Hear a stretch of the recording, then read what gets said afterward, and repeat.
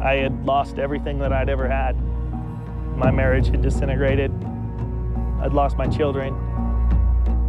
I didn't really know who I was. I pointed the gun to my chest and I pulled the trigger. There's not a single veteran that I know who doesn't know somebody who's committed suicide.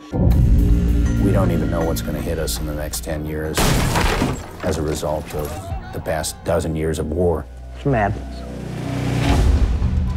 You couldn't have drawn up a more catastrophic way to fail to meet mental health needs than the blueprints that were followed in this war and that were followed in previous wars. We were not allowed to speak of the unseen wounds of war. We were not allowed to prepare for them. Nobody ever told us about PTSD or what to expect.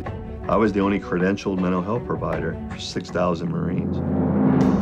As a Marine, I felt that was an absolute betrayal. We were leaving people behind. You could practically see the demons just raging around inside of him. What happened just fractured him in a really fundamental way. And he just was like, I gotta do this, even if it's gonna hurt. I wanted to know more about it, but he wouldn't let me in. He just wanted to escape. I've been afraid for what I'm gonna have to go through. We're failing at, at, at that healing part. Something's gotta give. It would make me upset when people would come up to me and say, oh, thank you for your service, welcome home. What do you know about living with these memories? We have to stop referring to veterans as sick. They are holding something for us. How do we approach it in a non-medical, social, political way? The battleground's right here. How many lives can we really affect? How many people's lives we can improve?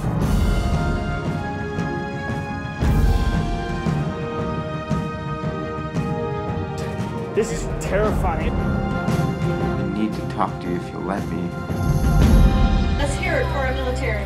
We'd like to thank you